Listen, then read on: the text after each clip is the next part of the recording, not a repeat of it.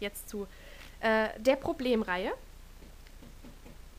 Ähm, beginnend mit Julie Picoults Zerbrechlich, dann Schuldig, Bis ans Ende aller Tage, äh, Die Macht des Zweifelns, ah, und da rutschte es mir aus der Hand. So. Die Wahrheit der letzten Stunde, die Wahrheit meines Vaters, die einzige Wahrheit. Öfter kann man das Wort ja nicht verwenden. das Herz ihrer Tochter und 19 Minuten. Und nochmal fürs Protokoll. Nicht gelesen, gelesen, gelesen, nicht gelesen, nicht, nicht, nicht gelesen und das ist gelesen. Ach Quatsch, das ist oh, nicht gelesen, aber das ist gelesen. Also, die sind ungelesen in der Mitte und das außen auch. So. Dann meine liebe Winnie-Pooh-Kiste, die hat mein Vater mal von äh, einer Fortbildung oder so mitgebracht. Die habe ich schon ganz lange und ich kann mich aber nicht von ihr trennen und ich brauchte einen Platzhalter. Dann kommen hier Bücher aus der Reihe mittendrin. Kuckuckskind von Patricia Schröder. Patricia Schröder, die Autorin mag ich auch sehr gerne. Dann Stumme Schreie und das ist von Milena Beisch, Blumenbauch. Und Zicke, das habe ich ja schon rezensiert, von Sarah Zah. Eigentlich, früher hatte ich es immer so, dass die Bücher von den Autoren nebeneinander stehen, aber das ist nicht dasselbe Thema meiner Meinung nach. Das, das geht nicht. So, noch eine Truhe. Kommen wir nun zu den Todesbüchern. Wenn du stirbst, zieht dein ganzes Leben an dir vorbei, sagen sie, von Lauren Oliver. Dann Gail Forman, Wenn ich bleibe, oder eher gesagt die englische Variante, If I Stay. Die kann ich ja mal gerade von innen zeigen. Oh mein Gott, wo sind wir hier? Ich erschrecke mich jedes Mal aufs Neue. Wenn man das hier aufmacht, dann sieht das richtig Hammer aus, wegen ähm, dem Glas. Also wer das Buch schon gelesen hat, mag es auf Deutsch gewesen sein oder auf Englisch, wird verstehen, warum da Glas abgebildet ist. Gute Idee. Dann, bevor ich sterbe, dann die deutsche Version von der englischen, wenn ich bleibe, von Gail Forman. Dann Tagebuch eines Engels von oh, Caroline Just Cook oder wie auch immer die nette Dame heißt. Und dann noch äh, irgend so ein anderes Buch wo der Vater erzählt, wie sein Sohn gestorben ist und der Sohn ist der kleine süße Junge hier. Gut, jetzt gehen wir eine Reihe nach unten. Zur Fantasy-Liebesreihe, äh, genau. Den Anfang macht uns Harry Potter. Das war auch eines meiner ersten Buchreihen. Äh, äh, wie heißt wohl der erste Teil? Hm, jetzt mal nachdenken. Stein, Stein der Weisen, Teil 2, Teil 3. Bis dahin habe ich auch alles gelesen. Teil 3 ist meiner Meinung nach der beste. Teil 4 bis zur Hälfte. Und dann Teil 7. Ja, ich kann zählen. Also 4, 7, hö. Teil 5 und Teil 6 fehlen, denn ich habe mir die Filme angesehen und boah, fand ich nicht gut. Deshalb wollte ich die Bücher nicht haben. Und hier hatte ich halt so meine Harry Potter Sendepause. Allerdings, als ich dann Teil 7 im Kino sah, war ich mir sowas von sicher. Ich wollte wissen, wie es weitergeht. Also habe ich mir Teil 7 gekauft und ich habe es nicht bereut. Ich bin sehr zufrieden mit dem Ende. Also viel besser als bei Panem. Nun ja. Dann wieder mal Patricia Schröder. Hier allerdings in der anderen Rubrik und zwar mit Vollmondkuss.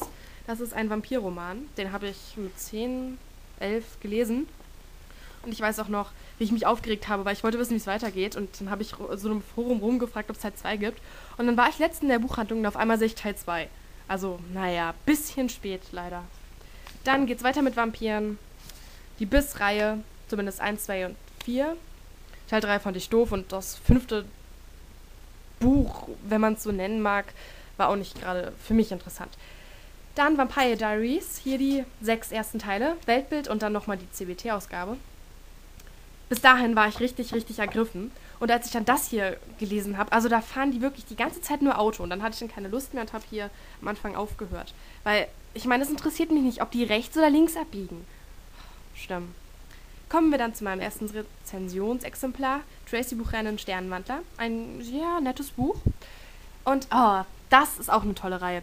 Der geheime Zirkel. Gemmers Vision. Zirzes Rückkehr und Kartiks Schicksal. Oh. Ja, es ist ein bisschen her, dass ich die gelesen habe, aber ich erinnere mich, sie war sehr gut. Und dann noch ein Buch, was ich äh, nicht fertig geschafft habe. Hieven statt der Feen ja, früher mochte ich Feen total gerne. Ich habe auch immer gespielt, dass ich eine bin und was weiß ich. Aber so als Lesen zur Zeit, nee. Vielleicht kommt das nochmal irgendwann. Nachdem wir diese Reihe passiert haben, kommen wir nun zu einer ganz besonderen Reihe. Ja, das ist aber nicht meine Favoritenreihe, sondern genau das Gegenteil. Das hier ist meine Hassreihe. Wahrscheinlich werden die meisten jetzt sich total aufregen, mich am liebsten in die Tonne treten wollen, mir an den Haaren ziehen. Keine Ahnung, ich will es mir auch ehrlich gesagt gar nicht vorstellen. Ich meine, kommt drauf an, die Geschmäcker sind ja verschieden. Und ja, wieso hat es Maggie Steves Vater nach dem Sommer nach hier unten geschafft?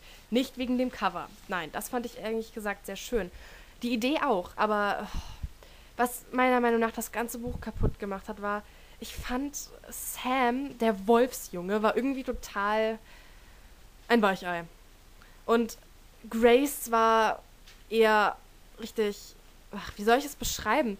Also, genau.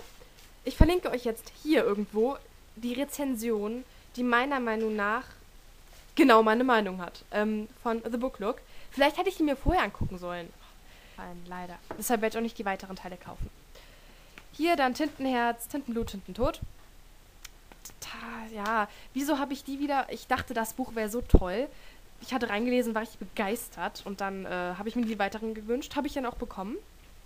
Nur doverweise war das dann nichts für mich. Also ich mag es nicht, wenn man ausführlich beschreibt, ob die Pflanze jetzt grüne Blätter hat mit roten Strichen oder ob die Striche gewellt sind. Das ist mir relativ egal und meiner Meinung nach äh, Cornelia Funke hat so einen äh, langatmigen, ausschweifenden äh, Schreibstil. Naja, von daher.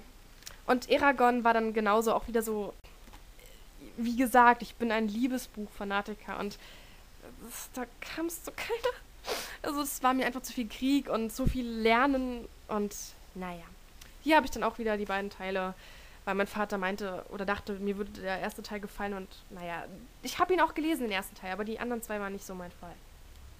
So, kommen wir nun zu den anderen nicht so guten. Das ist von Tolkien, das Smilrajon oder wie man das ausspricht. Dann Tödliches Lachen von Andreas Franz, ein Julia Durand-Krimi. Ich bin nicht so der Krimi-Fan. Ich gucke die liebend gern im Fernsehen, aber so lesen, na, bin ich jetzt noch nicht so auf dem Trip. Vielleicht kommt das noch und Kopfsprung von Kate Can. Ich erinnere mich noch, mich wahnsinnig auf dieses Buch gefreut zu haben. Es geht um Liebe und es geht um weitaus mehr als um Liebe, wenn ihr versteht, was ich meine. Also alles, was danach kommt. Ja, ich denke, das sollte jetzt jeder kapiert haben. Und dummerweise war es so, dass ich vorher ein gewisses anderes Buch gelesen habe. Ich kann es ja mal gerade zeigen. Ja, leide den Stuhl. Adam und Lisa hat dieses einfach total blass erscheinen lassen und deshalb ist es jetzt hier unten gelandet. Tut mir leid, liebe Kate Can. Äh, es hat leider nicht mehr so gefunkt bei mir. So, nun zu meinen Schulbüchern. Manche liegen, äh, stehen hier berechtigt, andere wiederum nicht, aber das werdet ihr jetzt bestimmt selber merken. Und zwar ähm, Lippets Traum, das steht hier vor allem wegen seiner schönen Farben. Ich weiß noch, wir mussten die gebundene Ausgabe kaufen, weil die Taschenbuchausgabe Yay, es schneit. Nun ja, auf jeden Fall steht das hier wegen seiner Farbe. Dann, das haben wir uns alle gekauft, weil dieser Typ an unsere Schule kam. Und er hat uns sogar ein ganz tolles Autogramm gegeben. So richtig schön hingekritzelt, ohne, keine Ahnung, eine Widmung, was weiß ich. Echt schade dafür, dass es mein erstes Autogramm von einem Autor wäre. Nun ja, vielleicht ändert sich das nochmal. Ich hätte gerne ein Autogramm von Kerstin Gier. Ich beneide ähm, The Books Addicted. Ja, Joe Pesto, ein Büffelmädchen. Oh. Ein Indianerroman. Ich weiß nicht, ob ich einfach nur Pech hatte mit den ganzen Indianerbüchern. Ich mag sie auf jeden Fall jetzt nicht mehr. Ähm, alles begonnen. Nee, begonnen hat es alles mit Der kleine Wagusch. Das steht übrigens äh, im Regal meines Bruders. Wieso wohl? Und äh, das war auch nicht gerade toll. Also ich mag Indianerbücher nicht. Es gibt bestimmt total tolle, aber ich hatte nur Pech bis jetzt. Dann Zoran Druwenka, der Bruder. Das war auch ein dummes Buch. Ich war so wütend. Ich habe äh, hier die Seiten zerrissen. Ich habe äh, den Rücken defekt gemacht. Nee, warte. Ich habe den Rücken. Den Rücken. Ja, genau. Ich habe den Rücken kaputt gemacht. Danke, Lukas. Und ah, ich habe es gehasst. Allerdings, der Fänger am Roggen, das war derselbe Lehrer, mit dem wir das gelesen haben. Das war wieder sehr interessant. Das liest man ja in Amerika in der Oberstufe. Und ich fand es sehr gut. Äh, Jugend ohne Gott auch und äh, Der Reviseur auch von Nikolai Gogol. Ähm, Allerdings, also das lag vor allem an der Art, wie uns der Lehrer die ähm, Bücher nahegebracht hat. Also es war super interessant manchmal. Manchmal leider auch nicht. Manchmal war ich dann richtig geängstigt, weil ich hatte also ich dachte, er nimmt mich dran und fragt mich ab und das konnte ich überhaupt nicht leiden, weil wir hatten, nun ja, eine Gedichtabfrage war nicht so ganz glücklich verlaufen. ja. Und seitdem war ich dann von Ängsten ge ge ge begleitet. Mit Ängsten begleitet. Ja, von Angst gelähmt. Ja, ja, mein kleiner Bruder. Oh, du bist nicht deutsch. Mein kleiner Bruder verbessert mich. So, auf jeden Fall, die fand ich gut. Dann hier ein nicht verdienter Fußballpokal. Ich war nur einmal beim Fußballtraining und durfte mir gleich einen mitnehmen. Cool, oder? Dann nationalsozialistische Bücher. Damals war es Friedrich. Das Buch habe ich ähm, auch in der Schule gelesen, aber es war gut. Deshalb darf es hier auch stehen. Dann das Tagebuch der Anne Frank und Liverpool Street. Das heißt, die äh, Hass- und Schulbuch- und Nationalreihe ist ebenfalls gezeigt. So, nachdem wir jetzt hier dieses ganze Stück geschafft haben, fehlt nur noch das da. Ja, hier stehen meine Dystopien und göttlich verdammt. Das sind so meine Ausstellungsbücher. Äh, Obwohl, das müsste dann eigentlich auch da stehen, aber es passt nicht von den Farben und dann wäre es zu voll hier oben. Nun ja, auf jeden Fall, hier steht Panem und ich habe auch schon Teil 3 gelesen, nur ja, der war nicht so prickelnd. Also Susan Collins hatte wirklich ein Händchen dafür, all meinen Lieblingscharakteren irgendwie den Saft abzudrehen.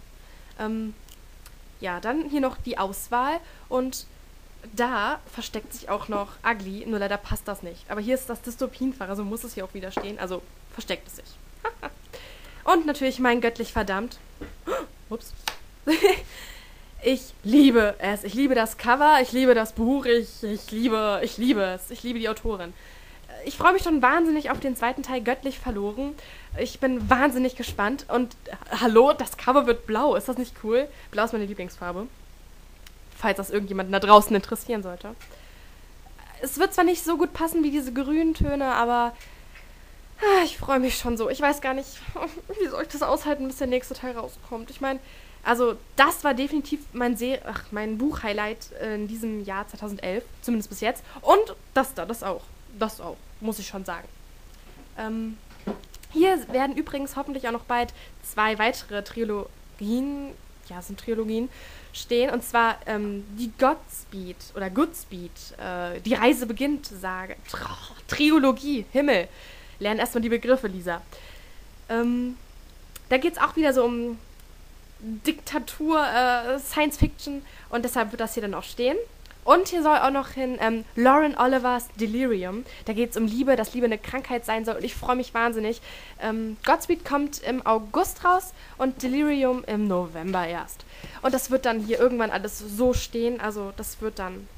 Okay, mit, ich muss gucken, wo ich das hin mache. Eigentlich müsste ich es ja nach da unten stellen, aber es bleibt hier. Ja, und davon kommen auch noch die nächsten. Also es wird hier im Laufe der Jahre hoffentlich etwas... Was machst du da? Hoffentlich etwas voller. So, das war mein Bücherregal. Ich hoffe, euch hat die kleine Tour nicht äh, eingeschläfert und ihr seid noch wach. Und äh, ja, ich hoffe, es hat, ich, ich hoffe, es hat euch gefallen. Ja, ich weiß, wenn ich zu schnell rede, das kommt besonders, wenn ich mich freue und wenn ich aufgeregt bin, dann verhaspel ich mich und das ist nicht ganz so schön. Ansonsten ist es nicht mehr wirklich interessant. Also ich glaube kaum, dass ihr meine Lexikars sehen wollt oder meine Schulbücher. Ähm, ja, das sind noch die, Ach, die Bücher von meinem Bruder. Manche sind wie gesagt von mir, die habe ich ihm heimlich untergejubelt. Und ach, das kann ich euch gerade mal zeigen. Angstman, das Buch ist so genial. Das möchte ich unbedingt euch noch vorstellen. Es ist zwar ein Kinderbuch, aber es ist wahnsinnig lustig. Ach ja, und äh, Gregs Tagebuch auch. Nur mal so. So, das war's von mir. Ich hoffe, wie gesagt, es hat euch gefallen und ja, noch einen schönen Tag.